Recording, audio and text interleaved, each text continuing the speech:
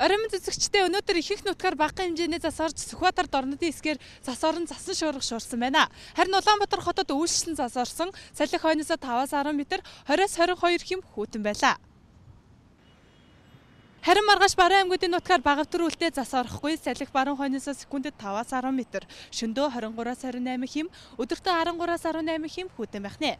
Төв аймагуудын нутгаар солигдмол үлдээ шөндөө зарим газраар өдөртөө нутгийн хойд хэсгээр баг зэргийн зас орж засан шуургах шуурна. Салхи хойноос секундэд 5-аас 10 м, шөндөө 24-аас 29 хэм, өдөртөө 16-аас 21 хэм хүйтэн байна. Харин зүүн аймагуудын нутгаар өвлөрхөх шөндөө ихэнх нутгаар өдөртөө зарим газраар зас орж засан шуургах шуурна.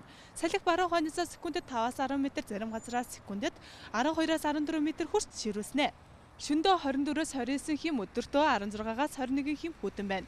Говийн аймагуудын нутгаар солигдмол үлдээ шөндөө нутгийн зүүн хэсгээр баг зэргийн сорж засан шуурга шуурна. Өдөртөө зас орохгүй салхи баруун хойноос секундэд 4-9 м, зарим газраас секундэд 12-аас 14 м хүрч ширүүснэ.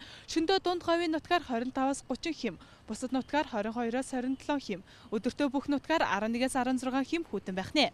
Харин Улаанбаатар хотод үйлшин баг зэргийн сорно. Салхи баруун хойноос секундэд 5-аас 10 м, шөндөө 25 27 хим, Яармаг сонгоны орчмоор 29-аас 31 хим, өдөртөө 19-аас 21 хим хүйтэн байх нэ. Харин өнөө маргааштай нутгийн зөв хэсгээр багахан хэмжээний цус орж зарим газараар ягуун шуурга шуурна гэж ус цагуур орчны үрэлэнгээс онцгойлон анхааруулсан юм а. Тийм учраас ард түлхттэй анхааруулж хэлэхэд эрс хөтөрлийн энэ үед анхаарал сэрэмжтэй байх нь зүйтэй болов гэж бодож байна. Одоо эргээд студид олбогдё.